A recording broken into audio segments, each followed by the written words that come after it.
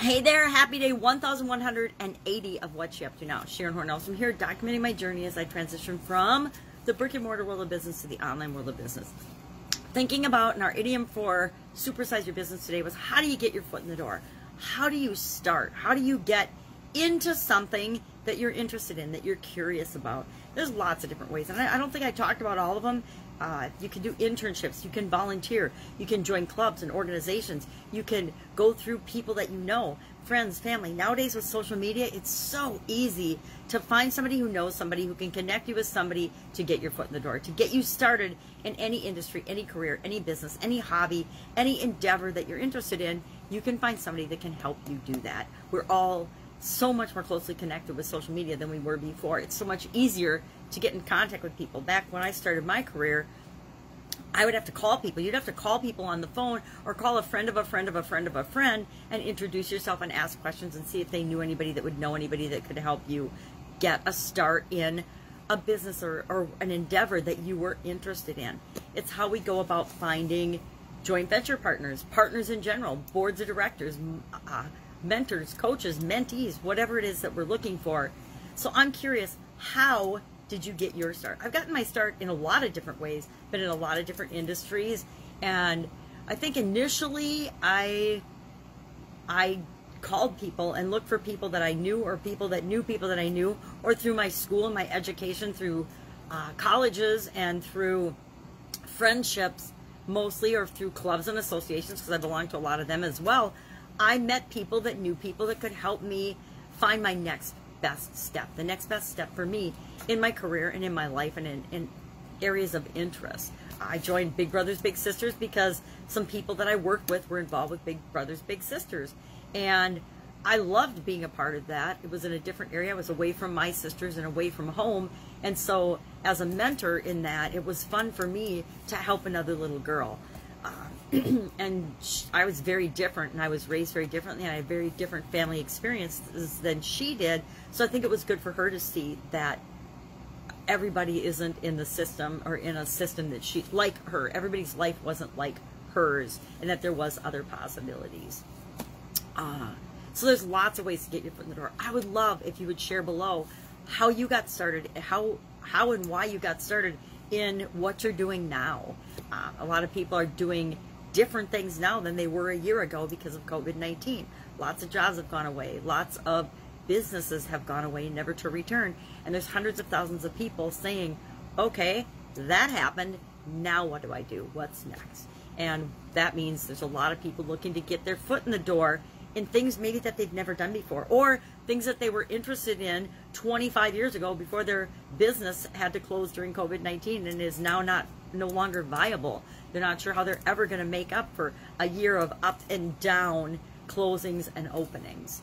So, love to talk more about this if this is a subject that people are interested in because there are a lot of really creative, really fun, really amazing ways to demonstrate and show who you are and what you can bring to an organization that will put you light years ahead of the 5,000 other candidates applying for a job or the 5,000 other people looking to find an opportunity for themselves. So, love to chat about that more if people are interested. Our Get Up and Go challenge today was about we are finishing the P in the SOAP framework with respect to our financial health. And P stands for progress. How do we know if we're moving toward what we want or away from what we want? We have to have a way to measure that. So we talked about measurement. With finances, to me, it's some kind of a monetary measure because it's such an easy, subjective way to determine I'm either adding to my um, amount of money that I'm trying to create or I'm subtracting from it. And there'll have to often be a few subtractions before we start the additions, right? When we're creating products, creating services, I'm creating an experience for people. Um, so to create that experience will cause and will require some resources, time, energy, expenses, venues, uh, refreshments, supplies, uh, swag, things like that. But in the end, I'll know based on how much revenue I generate from that event what the net profit was from that. And that's the number, the measurement, the dollars that I'm looking for. The net after all has been said and done, after all has been paid. But you can choose any type of measurement you want. What we measure matters. What we measure only matters in that we pay attention to it. So we want to be a little careful in what we're choosing for measures so that we are getting the actual results we want. A lot of people, at least in the online world, just look at gross income, gross revenue, and they share those numbers proudly. But what they forget to do, and they lead a lot of people astray, is they forget to share, well, what what do I really have to show for that? Yep, I made $10 million, but I got less than $100,000 to show for that. Or worse yet, I've got negative to show for that because I spent $12 million on advertising or $15 million on advertising to get that $10 million.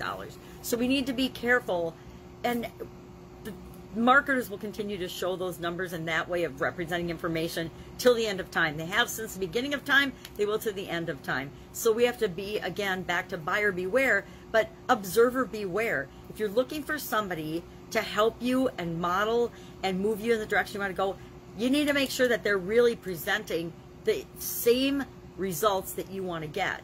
So I'd much rather follow the person that had a million dollars in sales and $900,000 of profit than the person that had $10 million of sale and 100,000 or zero profit.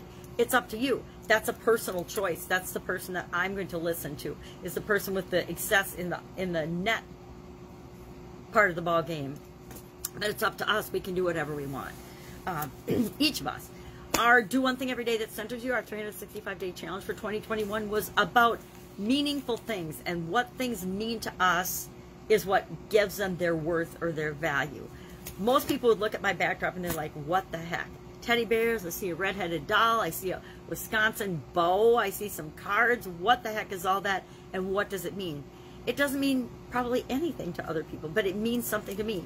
I've been collecting teddy bears since I was a little girl. Always loved teddy bears, and I've pretty much gotten rid of all my teddy bears. But see, these are some of the ones that I recently got, or that I uh, decided to collect. Christmas this year from one of my sisters, Valentine's Day, uh, and so I'll keep them around me for a while, and then I'll change my backdrop. I'll change the things that are important to me.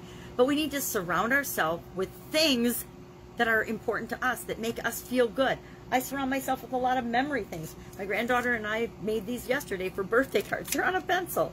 And so instead of making a birthday card, she made her cousin, who turned 21 yesterday, a pencil so he could work on his exams. Now everything's online, but I didn't tell her that. It was just cute that she wanted to make him something. So those, I surround myself with things that mean something to me. Um, you know, I've got my, my soap framework, my bars of soap, because the Get Up and Go Challenge means something near and dear to my heart. And so I want to have those things close to me. You don't have to. Some people are like, I can't stand clutter. I don't want anything around me. I want a plain white backdrop. Maybe I'll put a bookshelf in the background because that looks professional. Haven't read any of those books, but they're in my background, darn it. I don't want to even go there.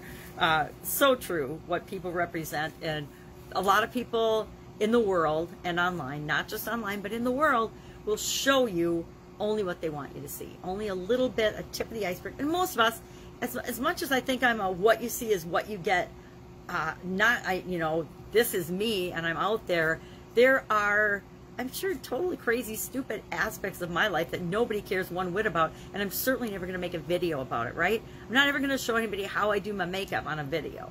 Nobody cares. It doesn't matter. It's not pertinent to me. I could do old lady makeup. Yeah, blind old lady makeup. Now that would be funny.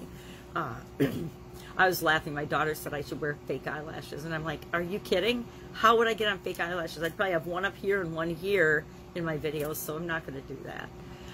So those are some of the things I'm working on. I realize it is a week from today that I am out of town and traveling for several weeks. And so I have got to really light a fire under my tush and get things ready for traveling. I have not, I got to dig out a suitcase.